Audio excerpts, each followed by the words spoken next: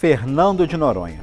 Uma viagem para relaxar, se conectar com a natureza e noronhar-se. Nada poderia dar errado num passeio desses, né? Mas tudo pode mudar quando você descobre que perdeu o celular e os documentos por lá. E não foi no hotel, num restaurante ou na rua, não foi em alto mar. Isso aconteceu com a médica Luna Costa, do Rio de Janeiro. No dia 6 de maio, ela estava fazendo um passeio de canoa havaiana quando perdeu o telefone, cinco cartões de crédito e a carteira do Conselho de Medicina. Meu marido ofereceu uma recompensa de 10 mil para quem achasse o telefone. Vocês acham que ela foi muito inocente em acreditar que ia conseguir reaver o telefone e os cartões, não é? Mas, contrariando as nossas expectativas, ela conseguiu recuperar os objetos e nem precisou dar dinheiro a ninguém. Ela contou que isso é algo impossível para quem mora no Rio. Super te entendo, Luna, eu também moro aqui. Os objetos foram encontrados a 6 metros de profundidade. O condutor de visitantes, Dodô Souza, explicou que ficou sabendo que a Luna tinha perdido as coisas dela. E quando estava levando um outro grupo grupo para um mergulho, uma das turistas viu o aparelho no fundo do mar. Ele então mergulhou também e conseguiu recuperar tudo. Depois, o Dudu fez um vídeo avisando que tinha achado os objetos e postou nas redes sociais. E em pouco tempo recebeu informações sobre a dona dos achados. Por um acaso, uma amiga do Dudu estava indo para o Rio de Janeiro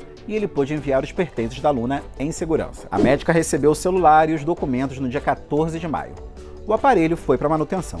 E ela disse ainda que foi importante reaver os cartões e o documento de identificação médica. Ainda dá para acreditar na humanidade, né, gente? Para rever essa história em detalhes, acesse o G1 ou baixe o nosso app.